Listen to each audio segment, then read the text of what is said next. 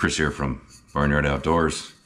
It's time for some whiskey wisdom. I, I don't know, probably not whiskey wisdom, but I do want to share something really neat that I found and why I got it. And I found these on Amazon. Um, it's a pretty, pretty simple thing. You know, I got that Alpicool cooler.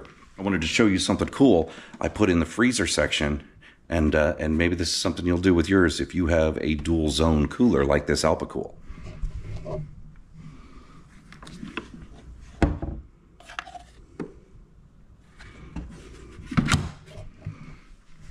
Yeah, isn't that cool? It's a little tiny ice tray. So I know what you're thinking. You really just made a video about a little ice tray.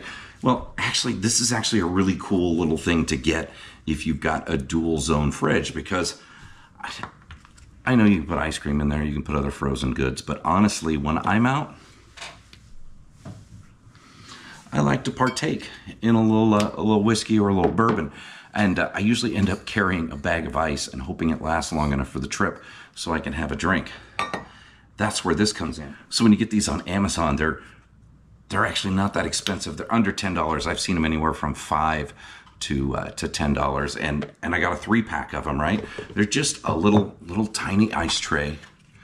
It's got a little lid on it to you know prevent it from sloshing around. It's it's not like a waterproof seal or anything.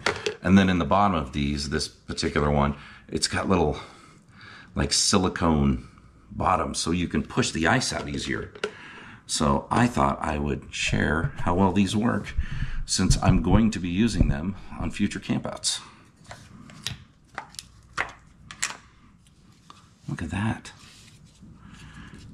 And just push on the bottom and the ice cube falls out. How awesome is that? And, you know, three rocks is enough. You don't want to water down the whiskey, right? With three of these, I can have three in the freezer, so I am always ready. Now, I put this in a couple days ago into the freezer. I'm sure it takes probably, I, I don't know. I don't even know how to guess how long it takes to freeze these little ice cubes, but I'm sure it's not that long. And with, with three of them, if it's just you, that's plenty.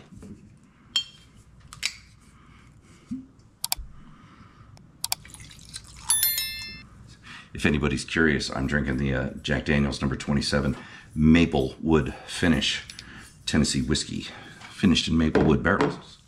Um, but I put three cubes in there, just enough for a nice little campfire cocktail.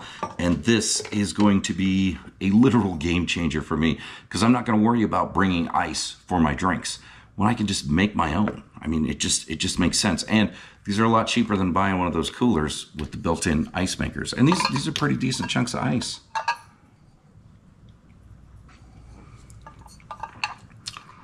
Oh yeah, that's that's the good stuff there. So I will put a, a link down in the description below um, for this model that I got. They sell different colors. Different colors are different prices. Um, this was the one that was the cheapest when I ordered mine. Um, but I think this will uh, will help you out, especially if you got a dual zone. That just it just makes sense. I still have plenty of room. These don't take up that much room. I can stack them too high in the freezer and I don't have to worry about giving up that much space and it gives me ice. So um, great thing, especially summertime camping. If you uh, just need a little ice, this wouldn't provide enough ice for a whole family, but it will give you enough ice for uh, at least an evening of cocktails for you and maybe your friend or, or your significant other.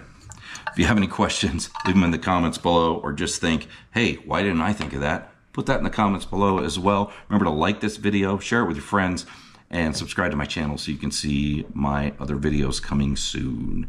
Thanks everybody for watching.